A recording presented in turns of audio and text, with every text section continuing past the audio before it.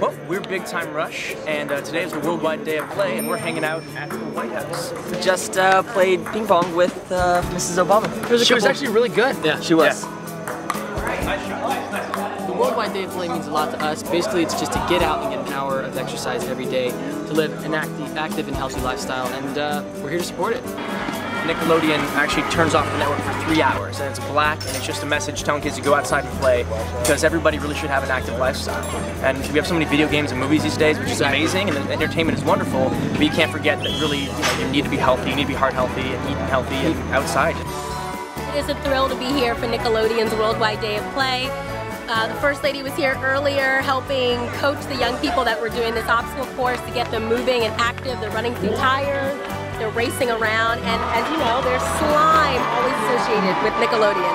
And so a lot of the kids were getting slimed as well. But it's fun, it's all about physical activity, getting moving, and living a healthy lifestyle.